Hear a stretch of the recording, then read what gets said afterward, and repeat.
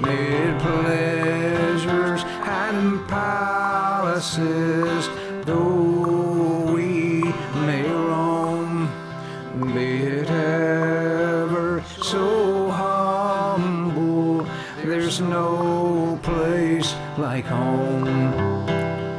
A charm from the sky seems to hallow us there, but see.